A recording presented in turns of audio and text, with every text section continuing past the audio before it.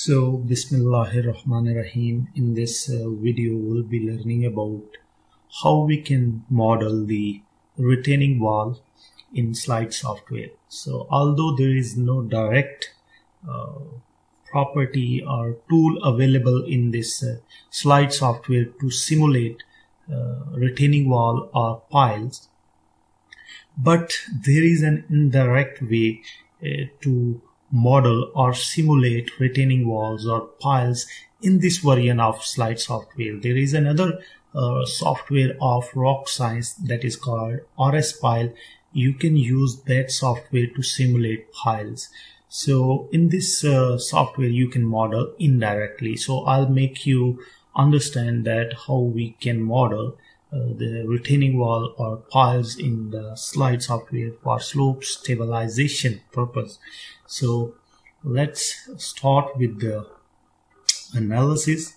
Uh, as I have explained these terminologies already will not be discussing these things. So let it uh, all be the default properties and I will click OK. Now I will go to the add external boundaries. So I'll make a very rough or simple geometry with assumed values. The purpose is just to make you uh, understand how we can uh, have a, an alternative approach to model retaining wall in slide software. So let's let's say I've been starting from here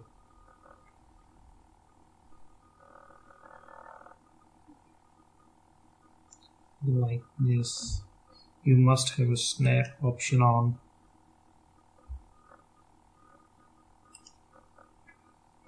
Let's say uh, this is the geometry.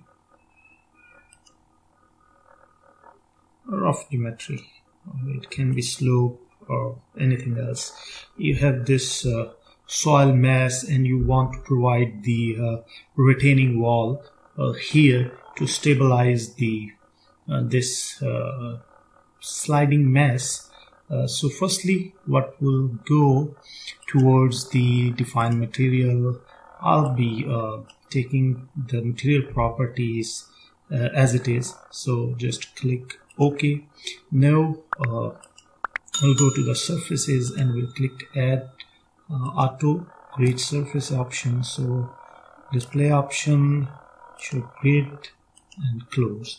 Now firstly I'll make an analysis and I will check without uh, installing the retaining wall what is the stability of this uh, uh, you can see the vertical slope.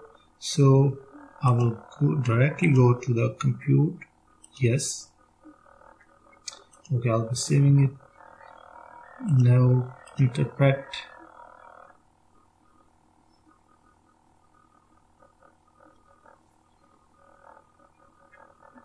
and now here you can see the factor of safety is 0.251 so I will switch to the original model. Again now I will provide a retaining wall but how uh, let's see. I have some uh, literature from where I can make you understand how you can model. So uh, see as I earlier told you that there is no direct way. You can uh, simulate indirectly. So uh, you must know the uh, interface properties. If it's a concrete retaining wall then you must uh, perform the uh, direct shear test uh, for soil and concrete interface. So here is the literature I studied from this paper that you can use a soil to concrete interface uh, uh, properties. You can perform direct shear box test apparatus to determine shear strength parameters because why we need uh, see uh, cohesion frictional angle? Because uh, slides uh, input parameters for modeling material uh, are only uh, cohesion, unit weight and angle of internal friction. So if you don't have these values, you will have to determine through experiments or through the correlation. So here is an example. Uh, there is an example of experimental uh, results. Uh, these have been found out uh, from concrete interface using our direct shear boxes. So you can see here uh, the results. I'll be using some of the values. I'll be giving the uh, link of this paper in the description box. You can you can uh, see and read this paper. It's very useful. So uh, you can see here the results. I'll be using some of the results if uh, uh, there is uh, an average normal stress of 277 kPa and 144.76 and 133.48 kPa at displacement values of 8.8 and 8. So you can use the uh, cohesion values from here. I'll be using uh, an uh, arbitrary value. So let's start the modeling and in the slide software there is another there is another paper as well a very useful paper. Uh, the uh, Mohr-Coulomb parameter properties have been determined through the uh, experimental data and correlations have been proposed. So you can use these correlations as well. So this paper is uh, also very useful if you have the uh, numerical data uh, maximum normal force and so on. Then you can determine the Mohr-Coulomb uh, model properties and then you can simulate the structural elements in the slide software. So I'll be using uh, a rough value but these values will be in range of concrete. So let's say it's a concrete property uh, concrete retaining wall. So firstly I will have to define material boundary. So let's say uh, it's a retaining wall. You can use the exact dimensions of the retaining wall from the design. Let's say a cantilever retaining wall. Uh, here is the cantilever retaining wall.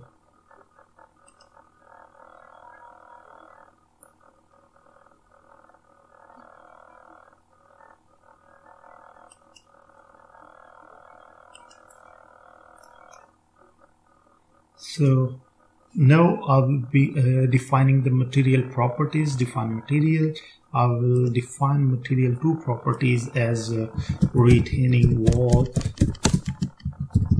Uh, you can stabilize the slope through support system provided in the uh, slide software but uh, uh if you don't want to use any support system like uh, uh, anchors and grouted tieback wall or something like that and you want to directly simulate your results then you will have to adopt this approach. Again yeah this approach is not that reliable. It's just my opinion uh, i have served from the literature but uh, there must be some strong uh, valid reference uh, like that. So i'll be using the uh, material properties of concrete retaining wall so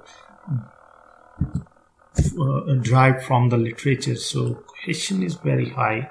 So let's say it's uh, 200 kPa and the angle of internal friction is 29 then okay now you will have to assign the properties. Go to the assign properties retaining wall from here. Now the properties have been assigned now I will make an analysis compute yes and interpret. So you can see here the factor of safety has been improved from 0.282. So uh, it depends upon the conditions uh, uh, and the material properties you use. But again, the material properties should be accurate. Then you can simulate the results. But this is how you can uh, you can uh, provide the retaining wall in the similar way, you can provide the retaining uh, piles as well if you want to simulate uh, in, in, an indirect way.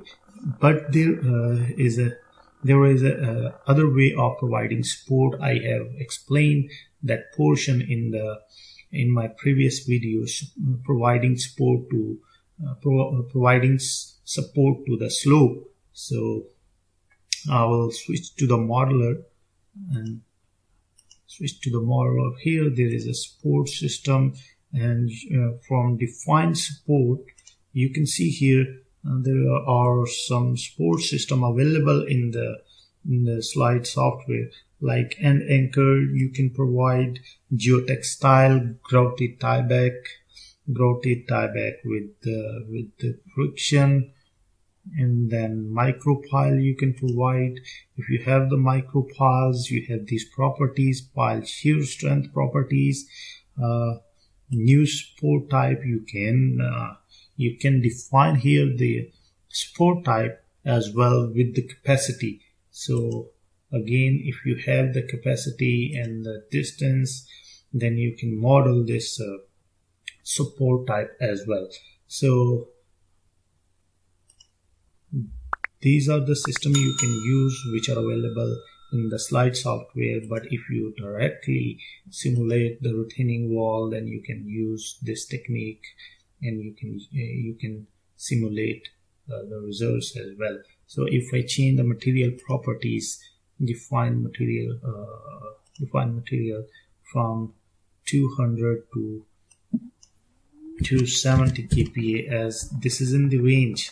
Uh, these values are in the range. So you can see here in this in this paper that the value can be can be uh, more than 4, 417 kPa and uh,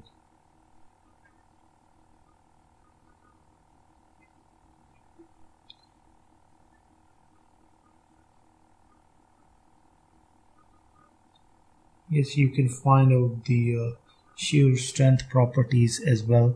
So uh, this is how you can uh, model the retaining wall. I'll, if I change the properties uh, of the uh, material properties to uh, I'll be just making maximum shear stress of 239.46 kPa and C values you can use 360 seven point uh,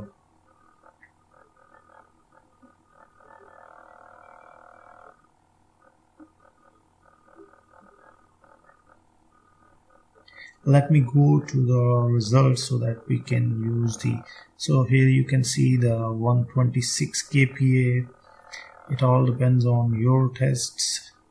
You can use the value as well. So if you use uh, the retaining wall. Uh, you can you can do this. Okay now assign the properties.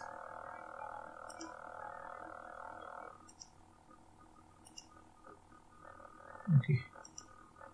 Now go to analysis. Compute. Yes. And interpret and now you can see the factor of safety has been increased to 1.08